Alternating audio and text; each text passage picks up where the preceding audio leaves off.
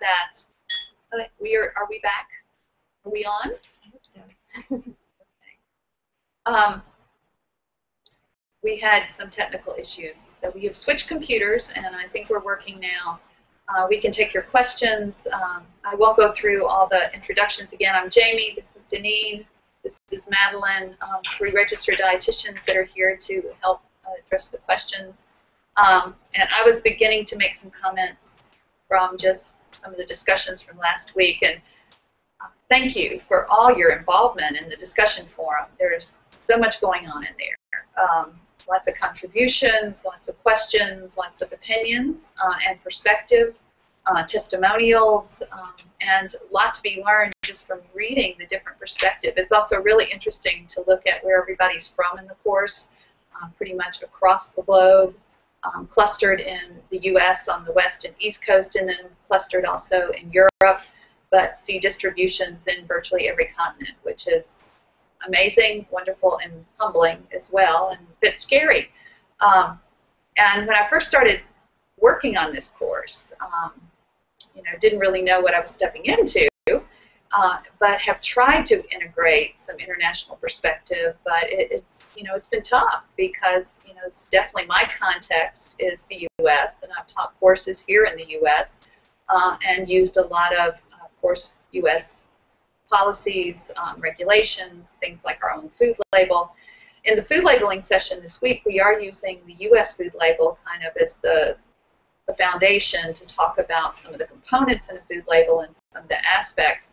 Um, but it's so interesting to look on the discussion forum under the food labels from other countries um, that we've had like 48 contributions. Um, and just as I scroll down through all those labels, just the, the variety in how information is presented, the variety in how much information is presented um, is really quite interesting. And some countries, of course, have you know a standardized label, others don't. That you're going to see it presented differently on different food products.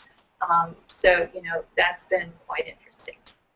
Katie, do we have any questions yet? Um, not yet. Not yet. Okay.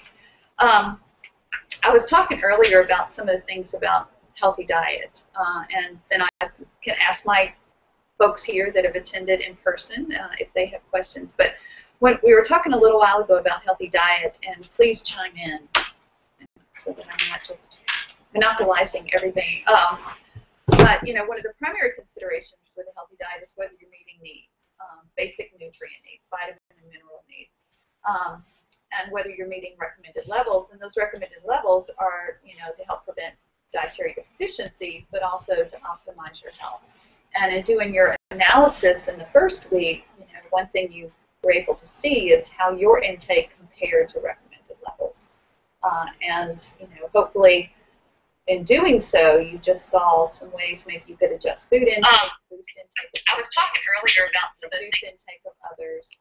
Um, to you know just improve your overall nutrition. But some other considerations about a healthy diet is how that diet impacts you um, in terms of your cholesterol level, in terms of your blood pressure, in terms of your body composition, in terms of your body weight, and that people do do differently with different plans. And you know, one message I hope you took away from week one is that there's not a cookie cutter approach to a healthy diet. There's not just one healthy diet. That there's many ways a diet can be healthy. And you saw that hopefully through Peter Menzel's videos when you looked at different intake around the world. Um, I think we can all agree that the more whole foods we include and the less processed foods, probably the better we are. But, you know, reality is convenience is a big factor. So did y'all have any comments? Um, I agree with you that there's so many different factors in a healthy diet and um, like I'm a vegetarian, but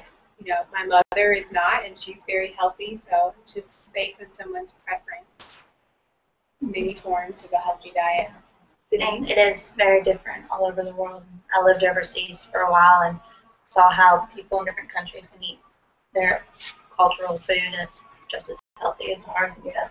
it's important to see all the.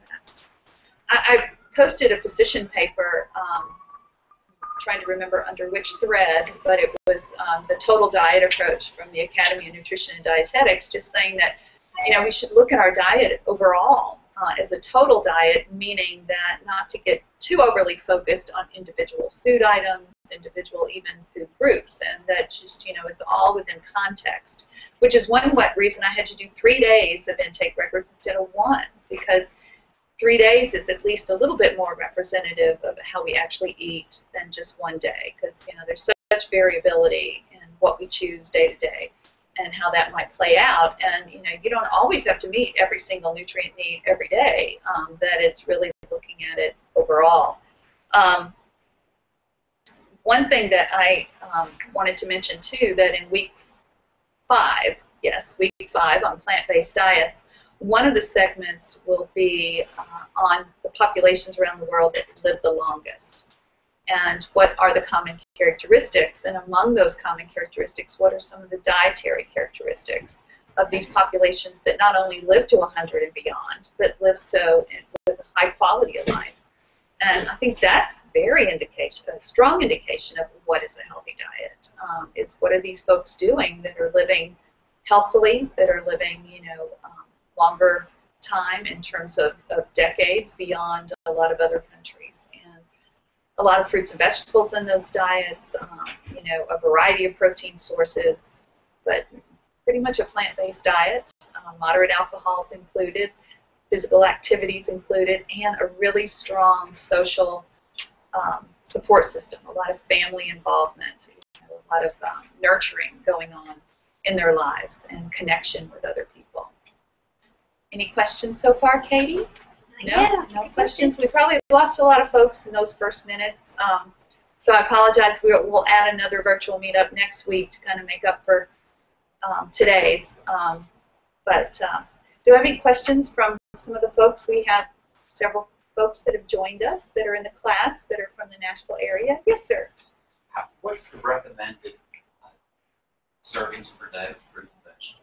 The recommended servings per day of fruits and vegetables. And, and tell me your, your name. Rick Rodriguez. Rick Rodriguez. Rod, blah, blah. I'm sorry. Rick Rodriguez. Yes, I'm sorry. I don't know. I know how to say it. But, um, well, thanks for coming. Rick's from Mount Juliet, Tennessee, and he's joined us today. He's an athlete and interested in nutrition, but was asking about the recommended number of servings of fruits and vegetables a day. Um, the bare minimum is probably what we hear about five, but when you look at populations that have the healthiest health or that are the healthiest, they tend to consume nine to eleven servings per day, which you know is far beyond what most of, most of us do. So sometimes you have to think about what's ideal and what's you know practical and realistic. But you know, bottom line, the more the better. Um, and probably optimal is close to nine to 11. And some populations average 13 servings per day. That most of their intake is coming from vegetables and fruit. That's a, that is a lot. It takes you know conscientious effort now, intentionality to even get in five servings for most people. You have to think about it to be able to get that in. And I, I find in my college students that's one of the biggest things is they don't eat enough fruits and vegetables. But it's not always easy to do so. I try to make it fun. Like um, it takes a lot more work, but I'll buy a bunch of fruits at the grocery store and make a salad. Or if I wash the grapes and leave them out on the table, we are more apt to walk by and grab a handful. And um, today, I mean, it took um, extra effort, but last month I decided that I wanted to start bringing salads to work. So I had to go buy the, the glass container or whatever Tupperware you would like to be able to carry the salad to work, and it had to be big enough. And then I had to have a smaller one where I could keep my dressings. I didn't want my salad to get soggy, so it takes a lot of effort. But in the end, I put um, a lot of walnuts in it and sun-dried tomatoes. You can even add strawberries and different cheeses, but it does take a lot more effort, but it's worth it in the end, and you're worth it. Um, only thing I would add is that you are stating fruits and vegetables. I see a lot of weight management patients, and vegetables are great, but so are fruits, and so they'll just go for fruits. And you can't just have nine servings of fruits a day. You need to have the vegetables in there as well. So it is fruits and vegetables. Right, right. Uh, and in some ways, vegetables actually probably have a bit more nutrient density than even the fruits do. Um, and probably when you look at that distribution, it probably should be a little more vegetable heavy than fruit. Um, not to say that fruits aren't, you know, a healthful choice and certainly can contribute. Yes. I do use a lot of vegetables, plant-based diet, but I do it in a smoothie lots of times in the morning. But I understand if you heat some of your kale, I put kale and spinach and some material like that, that I could maybe preheat and then put in my smooth. Would, would that be advantageous or, or not advantageous to, to heat the material before you put it in? So using, um, and it's Will, is that right? Tim, Tim, I'm sorry. that's all right. sorry. Um, Tim um, was asking about using either the fresh version or to, to heat it a little bit before incorporating it into a smoothie, and that's in terms of nutrient content. Yes, yes. Um, not a dramatic difference. You probably could fit more in if you heated it because the, the volume will change. Um, you might get a deeper color sometimes too in, in your, your smoothie, so it might change some of the appearance aspects. And some vitamins are actually, um, the heating process actually releases them, particularly your fat soluble, that you have more bioavailability with heating. Um, I wouldn't I would say there's probably not a huge difference, um, particularly for the volume that you'd be using. What, what would what would you say? I agree with you. I've never heard of anybody doing that. It's a, it's a really good question. You know, go for it if you would like to. I'm not sure for like a half a cup or a cup whether it would be a significant difference. Um, I may be wrong. I mean, that's that's an excellent question. An excellent question. And you know, making using your fruits and vegetables as a smoothie, what however we can get them in, you know. And I think if that's a way, and you know, you enjoy it, that's great. That's great.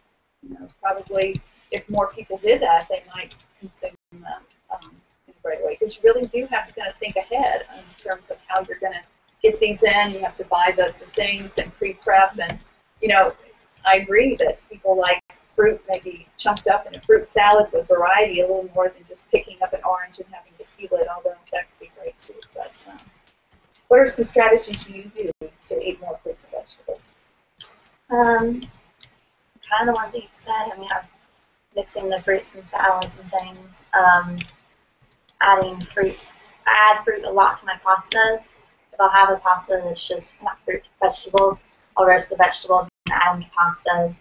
Um, I love to grab a handful of fresh spinach and add it to any pasta dish because it's just it just it cooks it a little bit, just kind of wilts it a little bit, and it's just a great addition and easy way to add a bunch of green vegetables to a dish.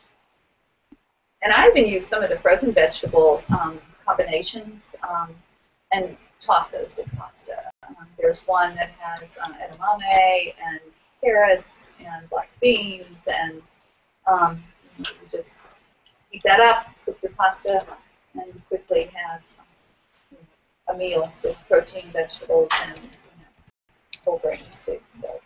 I add beans to a lot of things. I add kidney beans to a lot of salads, chickpeas and stir fries.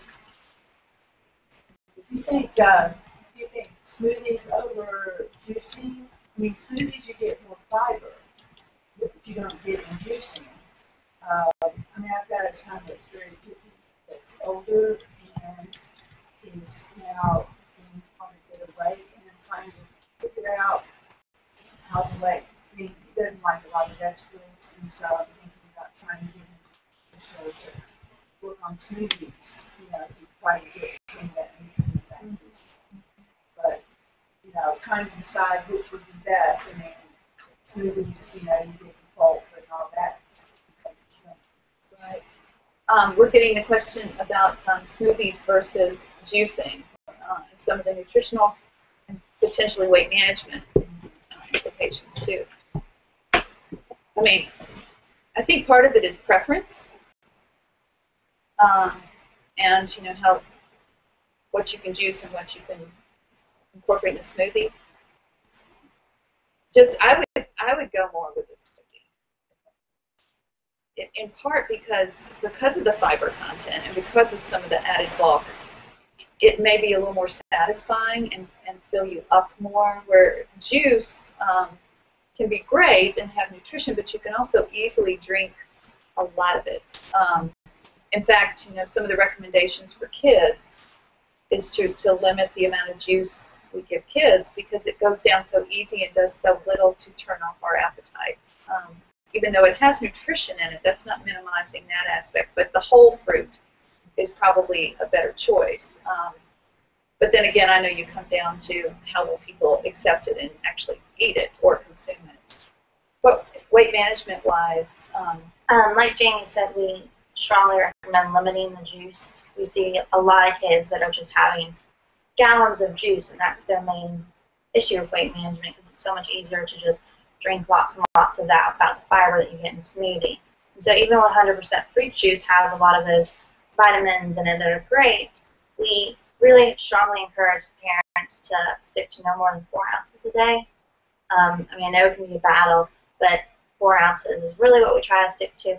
And something like a smoothie, especially if you can get some protein added to that, a smoothie with um, some skim milk or something, or a low fat yogurt, it's a great snack for the kids. That usually fills them up a lot more than the juice does. and, and that's part of it too, the satiety aspect. Any I agree. Every once in a while, I, I make smoothies as well, and I add Greek yogurt in mine, extra protein. So we usually have trouble too with my boys that love milk. And so it's not unusual for them to have, you know, one or two at a sitting, you know, like two percent milk. Uh, I haven't gotten to, try skim milk. Two percent milk when you're drinking this much, you know, two times that, that's a lot of pounds. she's mentioning about, um, and I'm sorry, what was your first name? I'm Kelly. Kelly. Kelly was sharing about her sons and that drinking large servings of milk, um, two percent milk, um, uh, liquid calories go down easy. Um, and even though you know milk can protein and calcium, you know, don't need too much. Um, and you know that was one of the, the most passionate threads on our discussion board was you know the need whether even humans need milk. Um, and I think you know we don't. We can certainly meet our needs without any dairy foods or, or without milk. That's not to say milk's bad or can't be part of a, a very healthful diet, but um, it's not an essential. Um, I'm probably getting in trouble with some folks there. Um, an essential food that you can meet your protein, your calcium, your riboflavin, um, the, a lot of the nutrients. Vitamin D, though, you know, that's one is, issue is that because our milk, particularly in the U.S., is fortified with vitamin D, it's an important source for kids um, for that nutrient. And when you take it out, you know, you do have to think about that consideration. Um, Absolutely. How how young are your sons? Well, one's about 15, one's 22. 22 years, very old, right? Instead of the, you know, freshman 15, it was more like freshman 25. I'm Very picky. Yeah, it's um, sometimes you think being a picky eater would be conducive to weight management, but oftentimes it's not because the foods that are preferred are sometimes more the calorically dense foods, and, Right. and that can that can add up. And, and liquid calories, like you were mentioning, can be a big contributor in weight management. Uh, in fact, like Deneen was saying, a lot of clients, that's one of their major ways they're getting calories in. So if they could go down to one percent or skim, that would help cut calories if they still want to keep their milk. Might be a, a big change at first, but they may get used to it. And maybe that's you just buy it and either they drink it or absolutely. and, but but you know there's also some debate now too about milk fat. I mean whether that we're doing ourselves a disservice by switching off to skim and avoiding some of the fuller fat milk. Um, you know that that it's it's just interesting the science that I, I think moderation comes back to even milk products and and the personal choice too. You know, and certainly most of the world is actually lactose intolerant, and so aren't consuming milk uh, as we do in the U.S. because you don't have as high rates of lactose intolerance, particularly in the Caucasian population, as you do in, in many other um, groups around the world. So. Yes, Katie. We have a related question on um, on our comments. And this is from Julie, who is wondering how to control sugar while still getting enough fruits and whole grains. She says it seems really tough. She's tracking her food and exercise, but she still has problems with too many sugars. How do I reduce them and still get enough fruits and whole grains? It So seems really Julie's asking about sugar intake um, and eating fruits and whole grains. My gut says don't worry about the sugar in fruits and whole grains. Um, that if you've omitted added sugars, uh, if you've omitted foods that are rich in refined sugars and you know high fructose corn syrup and, and your beverage choices, and that your main source of say simple sugars is through fruit um, and you know some carbohydrates and grains, which is not necessarily always sugar, um, but more so so a starch or a complex carb.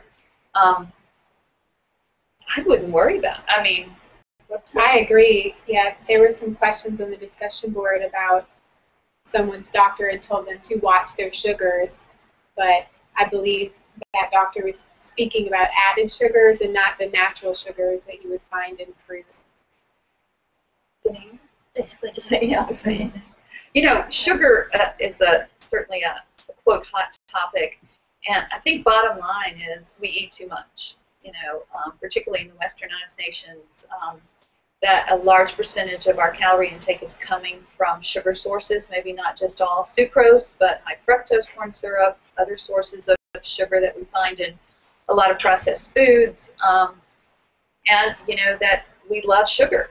And if you have a choice between a chocolate chip cookie and an apple, um, majority of people, if they were honest, would opt for the chocolate chip cookie. Um, so you know, sugar is so prevalent, so so readily available. Uh, it often competes with the more nutritious foods. So you know, I think there's no question we eat too much and we need to cut down. But whether we have to avoid all sugar, I think is not clear. Um, that if you're active, if you've met your other nutri- nutrient needs, you may have room for some treat through sugar, particularly on occasion. Um, and that to make it a forbidden food probably isn't always wise, particularly with kids, because that makes it sometimes even more attractive. Um, so, comments, ladies? Um, I definitely think don't make it a forbidden food for kids. I with that. I, I, I tell this story in my nutrition class about, um, and I, I won't name any names, but when my older daughter was uh, a Girl Scout, we had coupons for um, Cinnabons, which in the U.S. are these ma- massive um, cinnamon buns with icing and cinnamon and sugar, and they're like huge. Um, probably what six, seven hundred calories each at least. At probably least. they're they're huge. So we had free coupons for these. We were at a mall, and we let the girls get one. Well, most of the girls ate maybe a third or a half of their Cinnabon, and this one young girl whose family practice was no sugar, no anything. You know, her mom packed her lunch every day, which was great, but pretty restrictive diet. This little girl not only polished off the entire Cinnabon, but was licking the inside of the container. So, you know, part of the message to me was that she hadn't learned how to deal with those foods, and she's going to be faced with those foods and how to eat those foods in reasonable amounts at reasonable times. You know, um, so you know, it, it's it's interesting um, what's ideal and what's practical, and you know how we function within a world that has a lot of enticing foods um, can make it tough. We have a, um, another question, and um, this is about who regulates the nutrition label in a foreign country.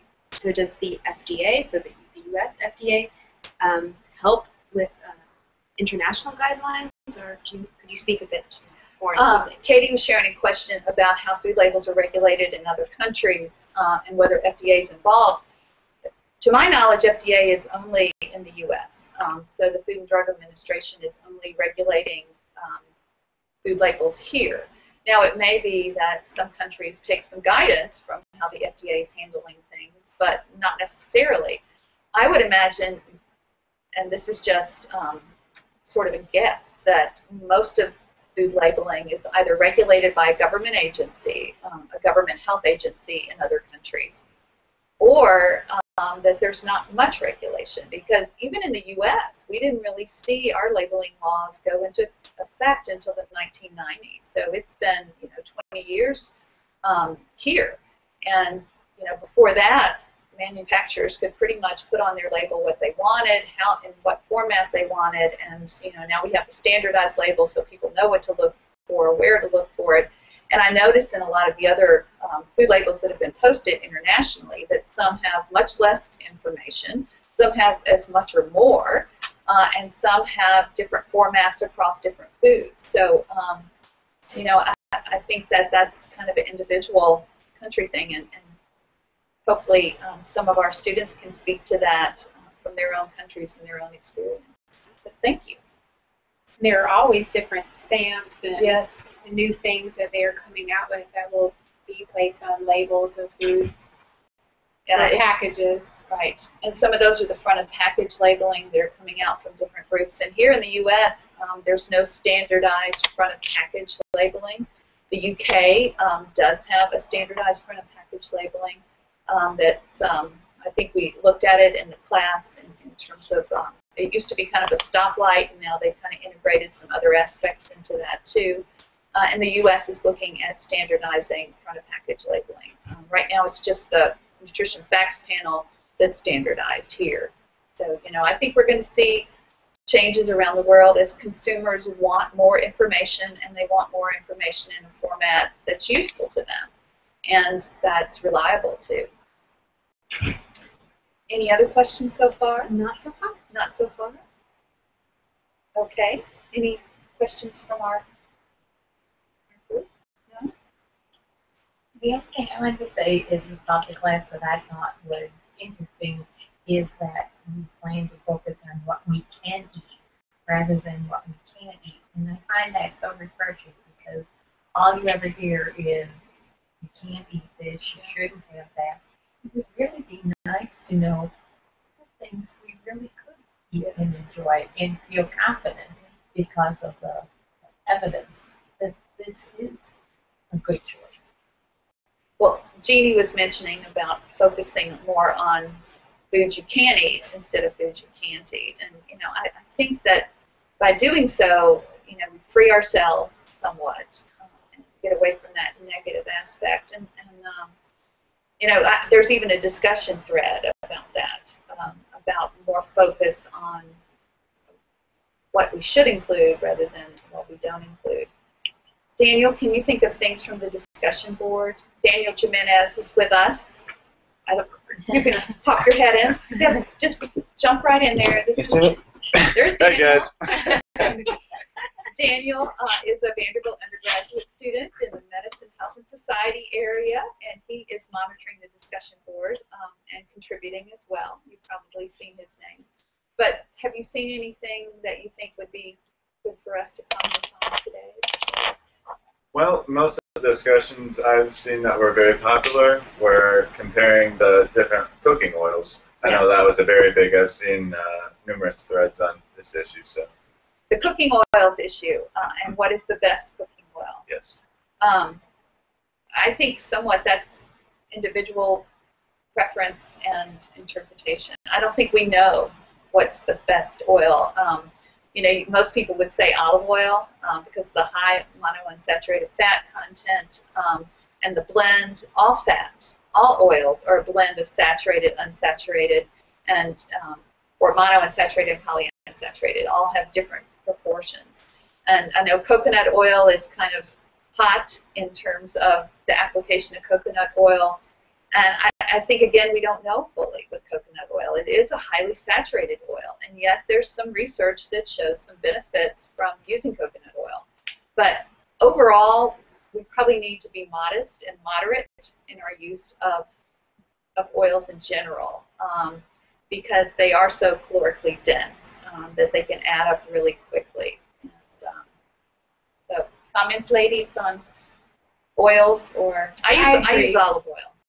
I do prefer olive oil. Um, well, I don't fry anything, so um, when I'm sautéing and adding flavor to salad dressings, I prefer olive oil.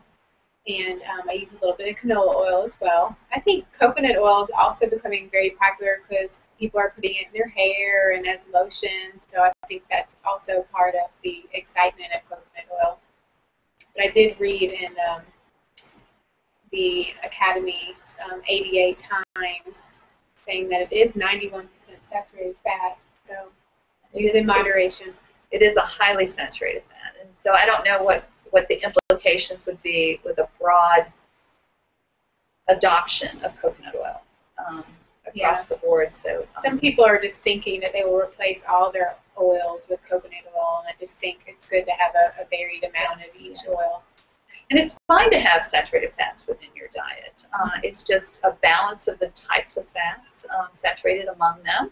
But you know, research does show that you see better improvements in blood lipid levels like cholesterol and triglyceride and HDL, LDL um, with a saturated fat intake of 10% of calories or less, even less than 7% in some cases. So, you know, just as long as it's used in conjunction with other types of fats, I think. I haven't seen any. I haven't personally read any much science about it. I. I prefer olive oil, and I'd just be concerned knowing that or seeing it in the um, grocery stores how coconut oil is often solid at room Yes. temperature. Yes, So just the, the saturated aspect. yeah, I had a friend who was eat, eating a tablespoon of uh, melted coconut oil every day and taking an anti-cholesterol drug. And I said, ah, I don't think that works. Uh, She was commenting that someone was melting coconut oil and taking in a, a tablespoon a tablespoon of it for the health benefits, but also is taking a uh, statin for her cholesterol. But also I'm like, uh, no, wait. yeah. you know, I think I think we still got a lot to learn about so many things. I mean, when you look, when you think back um, 50 years ago or more, that you know, moms sometimes would line their kids up and give them a tablespoon of cod liver oil every day. Well, there was, you know, come. It's, that was probably wise. I mean, rich in omega-3 fatty acids, some of the essential fatty acids, that it probably wasn't a bad idea. But you know, for several decades, people scoffed at that that was practiced, you know. But now it's like no, it probably wasn't probably pretty good for those kids to be taking the cod liver oil. So we have, we have lots to learn. One thing that about olive oil um, that a chef had shared with me was that for flavorings, like with salad dressings, um, when you're using, say, to, to dip your bread or different uses for olive oil, the, the virgin olive oil or the extra virgin olive oil is it's a lighter flavor and, and probably preferable. But for sauteing uh, or heating, that just regular olive oil, not the extra virgin, probably works better because of some of the smoke points and some of the differences in the two types of oil. And so now I have both bottles. Um, and you know whether I don't know how much was behind that, but certainly um, I, I did it after the chef told me. I'll ask my mom. She's in culinary school. Yes, yes, there's a difference between using. So some of you might know a little bit about the difference in the applications of, um, say, different virgin or extra virgin or regular olive oil. I find it's hard to find regular olive oil anymore. Yeah. Sure. It's actually almost all extra virgin or virgin. We have a few, we have a lot of questions. Oh, now. more People have found questions. us, so that's wonderful. Hi, Um, sorry about the tech difficulties earlier. This is Deneen. This is Madeline. So we have um, had a few questions uh, about using food to help avoid or delay congenital diseases or as a way to substitute or supplement conventional health care around chronic diseases. So do you, um, so if you could speak to that question about how to use food to supplement care, treat diseases. Interesting. How do you use food To avoid or components to, to prevent diseases? Um, gosh, uh, I think that could be quite a discussion. Um, one thought that comes into my mind is this newer area of nutrition called nutrigenomics that's looking at our genetics and potentially um, how food choice, how our dietary patterns may play out in our lives based on our own personal DNA, our um, genetics in terms of disease risk, in terms of um, just overall health. And, you know, that's a very new area. And I don't think at this point we really are at a place where we can make individualized um, recommendations based on that. But when you mention some of this, some of the things that pop into my mind is actually uh, in week four, we're going to be talking about functional foods, which are foods that have, um, beyond their nutritional value, seem to have attributes um, primarily in disease prevention, um, heart disease prevention, um, cancer prevention. Um, for example, omega 3 um, salmon is considered a functional food. Not only you know is it a great protein source, healthy fats, other nutrients, but it also um, the omega, high omega 3 com, aspect of salmon makes it functional in that that plays a role in heart disease reduction. Um, you know, blueberries um, have functional attributes above and beyond being a healthy fruit um, that they play out in terms of potentially some, you know, cognitive or brain health, um, cancer prevention.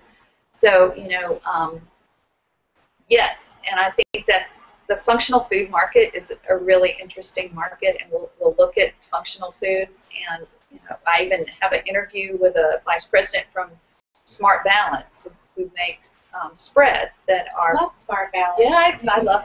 I, I actually consulted for them for quite a few years, and it was interesting just to kind of see behind the scenes of functional foods because um, their spreads, some of their products are fortified with additional omega 3s. They're fortified with vitamin D in many cases.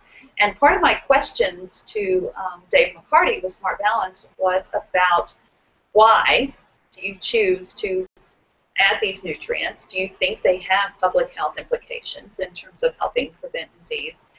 And I, think one reason goes back to the fact that you know it's hard to get everything in, um, and that sometimes functional foods can play a role in helping us meet our needs and potentially prevent disease uh, of some type. So, ladies, any comments? My fellow dietitians here. First thing that came to my mind, well, you know, there are certain diseases that are treated with food, such as Yes. celiac disease, with a gluten allergy. So, isn't the only treatment a gluten-free diet, pretty much? Then there are certain diseases where you can improve symptoms um, with food, you know, decrease symptoms, such as um, heart failure, of course, where, I work primarily is encouraging people to follow a, fluid restriction when they have a lot of swelling and as well as a low sodium diet. So foods can play so many roles in different diseases, preventing it when it's already progressed. I work with um, a population that often has um, elevated liver enzymes, and so they're work they're headed in the direction of unfortunately liver failure. But then working with a dietitian and working with weight loss, it shows the blood values of their liver enzymes go down if they choose a proper diet and lose weight. And so that is another example of how you know eating healthy can then in the long run prevent the disease. So it is possible in certain ways. And, and you know, the, um, but again, think we have so much to learn in this area. And I do think people have to be cautious about simply relying on dietary modifications um, and sort of rejecting sometimes traditional medical care in favor of what we think of as more holistic interventions. I mean, certainly that there's some validity and value in you know healthy diets and more holistic approach, um, but not to necessarily reject the many things we've learned and the many values that um, are available through sometimes medications. I mean, like statins, for example, which are cholesterol-lowering meds. The research is pretty dramatic in terms of improving, you know, extending life, extending years for people. Uh, I mean, some people have joked that we need to put statins in our drinking water, um, but you know, some value there, and you can't get some of that cholesterol lowering, some of those lipid changes with diet alone um, that you have to have that boost with, um, you know, some of the, the things we've learned with some of these. So, Okay, and I think that speaks um, to another question. Uh, someone asked, why is trans fat dangerous? Will they be burned through activity also? oh, good question. Y'all want to take trans fats or? Well, trans fat is extra harmful because it raises your bad cholesterol, um, some of the more harmful LDL cholesterol, but in addition to lowering your good cholesterol, your HDL cholesterol. So unlike saturated fats, which only touch the harmful cholesterol levels, the trans fat is also decreasing your your good cholesterol. So that's why it's it's a, a big evil and why people are, are paying attention to it nowadays. They started adding it to foods to increase the shelf life and not knowing that it was that harmful. So that's why now they are labeled on the nutrition label. Are they mandated to label trans yes, fats? trans fats are now mandated. I think of 2006 um, that food companies have to include the amount of fat, trans fats on a, a label in the U.S. Aren't they completely human manufactured? They're There, there are some trans fats naturally in foods, but it's very minimal, very minimal. Trans fats are made through the hydrogenation process. When liquid fats are made more solid through hydrogenation, when um, and oftentimes changing them from a liquid state to a solid state. So therefore, like um, margarines tend to be higher in trans fats than butter. I mean, butter really is trans fat free almost. Um, but margarine, stick margarine, can be very high in trans fats. However, many manufacturers, particularly here, have reformulated their products, and that even margarines, tub margarines, and even some stick margarines are either very low or trans fat free. Um, in part because when they had to start declaring on their label trans fat content, some manufacturers stepped back and said, no, we better reformulate because, for example, if two cookies, one had three grams of trans fats in their cookie and one had zero for the same type of cookie, then consumers may opt for the zero. Um, one consideration is that, you know, and I, I'm sorry, I keep saying here in the U.S., here in the U.S., but manufacturers can say zero for trans fat if the product has less than half a gram of trans fat. Um, so it could have 0.4 or 0.49. Uh, and so if you had several servings of that food, you would still be getting some trans fats through that. So there's there's um, efforts underway to to actually declare exact amounts, not just round it to zero. my mom had um she actually asked me this in the grocery store one day that she was told that this particular brand of bacon bits was healthy because it was soy or something that had no actual bacon in it and I didn't know it had it. I looked at it and because it said trans fat free and it also said that one serving was um, one teaspoon. And I pointed out to my mom the first ingredient label was trans fat hydrolyzed and um, so I was like, well, Mom, I know how much you're adding to your salads, so you're probably getting actually a lot more. And so, And you can tell if something has trans fat in the nutrition label if you look at the ingredients and it says hydrogenated oils. Yeah, right? hydrogenated oils. But you know, uh, along that same vein is that um, Madeline mentions shelf life, and so just completely taking trans fats out of our food supply is not as easy as it might sound. Uh, easy as it might sound, that it will, you know, for a cookie or cracker, it's going to dramatically change how long that food will stay safe and quality. That fats, you know, um, hydrogenating. Um, fats don't go rancid as fast. Even some texture and taste qualities are altered when you manipulate the fats and oils. So um, that's certainly not in defense of trans fats, but also saying there's there are considerations um, when you look at that. And you know, really the recommendations are as little as possible on trans fats. Um, so, and you can stay away from trans fats by using much less packaged convenience processed foods. Yes. Great. Okay, we have another question um, from David, who is a vegetarian, and he is asking, what are the meals where I can get protein? How to get protein? As a vegetarian, uh, we have a vegetarian. Yes, I'm a vegetarian. I get a lot of my protein from beans and nuts.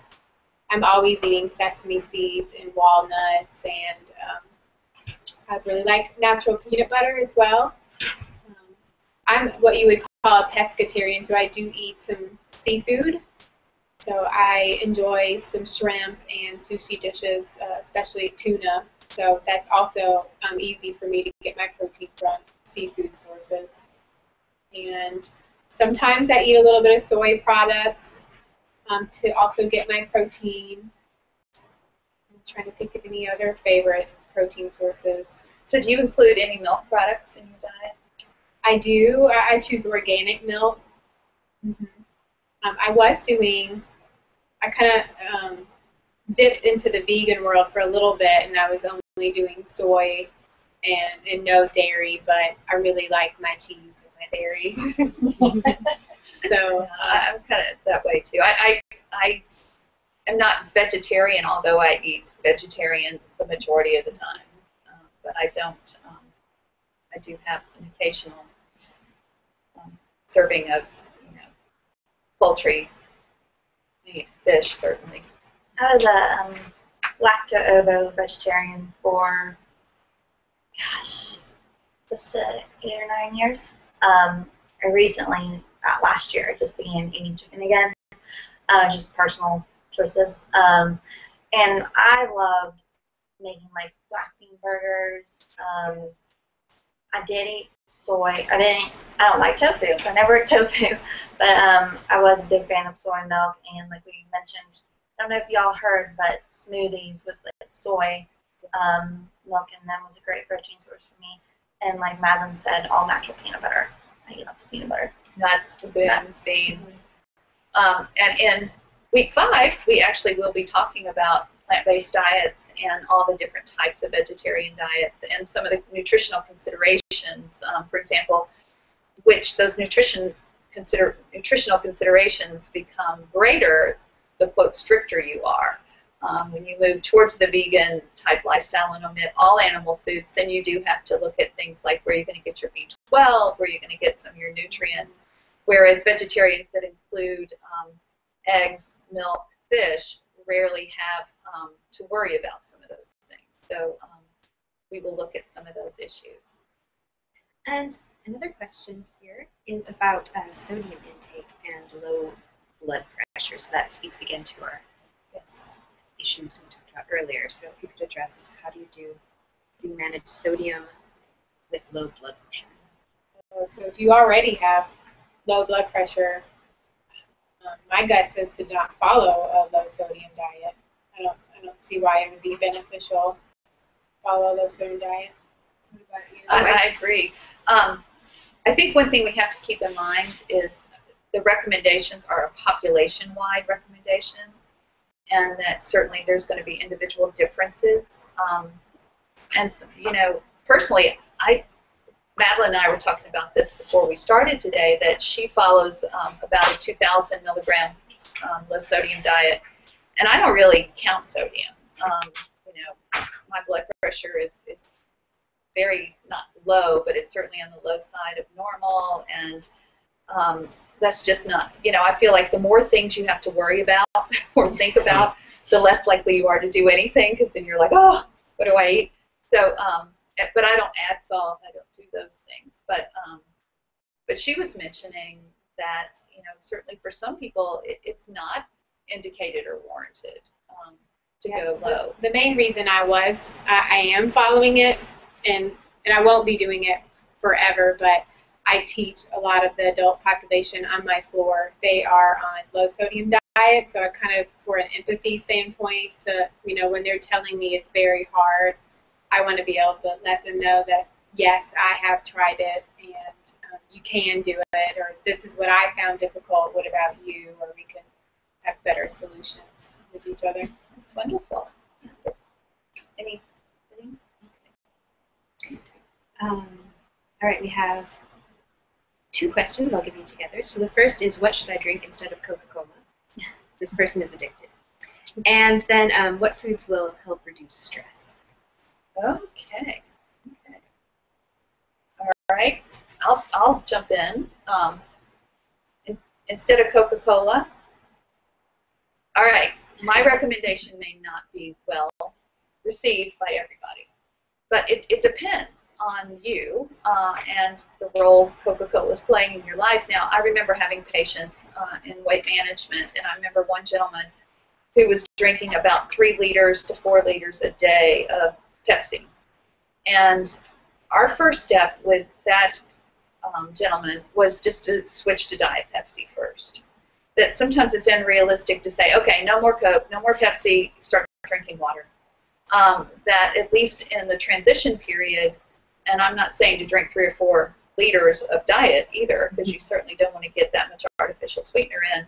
But you know, if there's a, a, a weight issue, that sometimes even you know using a modest amount of, of a diet beverage um, may be appropriate. Um, I'm not recommending um, diet sodas per se, but I'm saying in a transition period, trying to wean yourself off. Um, and then to use flavored waters, um, know, that have some taste beyond. It was interesting. There was a study in kids at a camp, and the kids went to camp.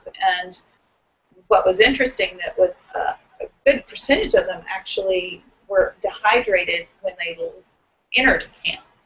Um, but then they were exercising outside, doing all these things, which could further the risk of dehydration. Uh, and one day they offered just all water, and they monitored how much the kids drank.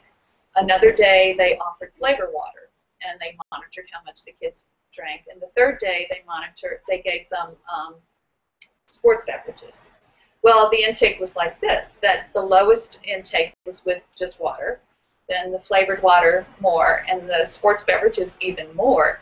Um, and I guess part of that is you have to also think about what appeals to people.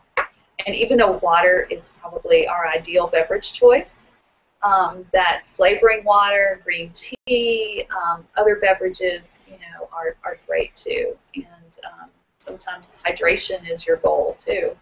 Um, but I'm kind of rambling. But any comments there on?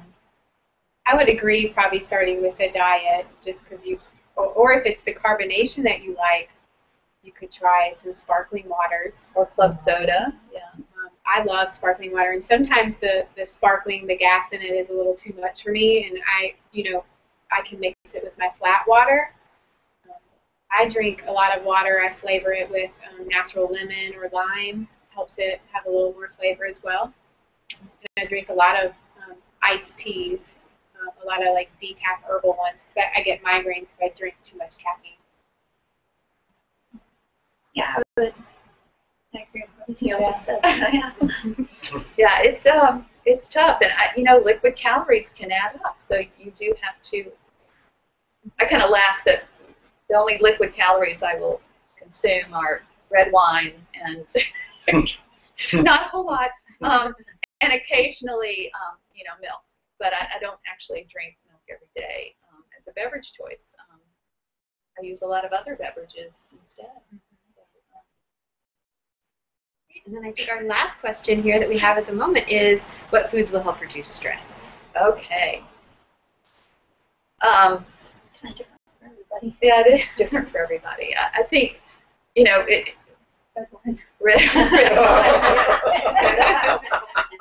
um, Hot cocoa. hot cocoa. Hot beverages tend to be soothing.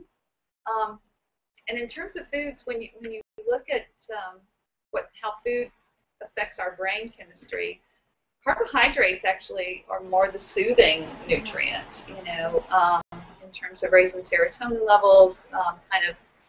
Um, you know, if in the middle of the afternoon you just grab a plain bagel with nothing on it, um, you're probably going to be sleepy in the next hour because you're just consuming almost pure carb. Um, if you mitigate that with protein, you're going to dull that effect. But you know, carbohydrates are kind of the soothing nutrient um, when you think about brain chemistry. We rarely eat them just solely carbs, but um, just the effect of that. Um, and a lot of the times when we think about lowering our stress, it's some of the foods we think of as comfort foods, foods that we had as children, um, foods that we kind of feel are um, relaxing. And, and again, like Denise said, it, it can be very individual.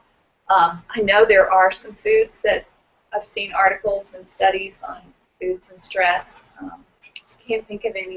but I, um, if I find that, I know there's actually been a couple of books written on, on stress and, and food intake.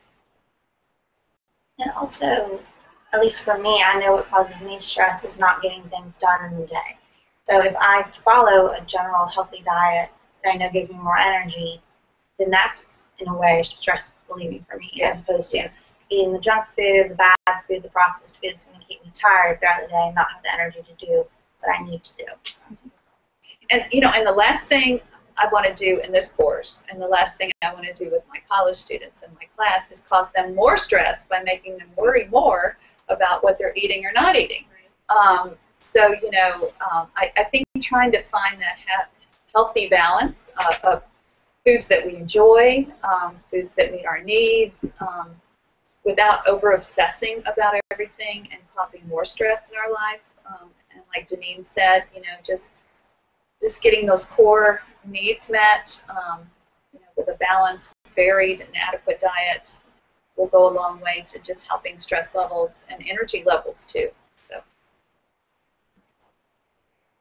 And our final question here on the forums is about um, someone recently switched from black tea to green tea. Um, so what about caffeine in green tea? Does green tea have caffeine? Yes, um, green tea does have caffeine. It's not a, a huge amount. Um, and, you know, in terms of caffeine, again, um, the research is mixed. Um, it, it appears that a moderate amount of caffeine intake is not an issue for the majority of people. Um, and again, that's, you know, some people are more sensitive to the impact of caffeine than others. Um, but there's actually some studies that correlate like with coffee consumption and reduced risk of diabetes and um, and I'm not sure personally the difference between black tea and green tea in terms of the caffeine content. White tea has the least amount, and I believe black tea has the most. And I think green tea's in the middle. And I've read that, uh, It's still not a whole lot, yes. and it's still, yeah, very small amount. And all the teas are. Yes. And there are um, decaffeinated versions of green teas and all teas available if, if that's a concern. How are we doing on time, Katie? Well, we're at an hour just about from when we actually started with sound. So Okay. All right, great.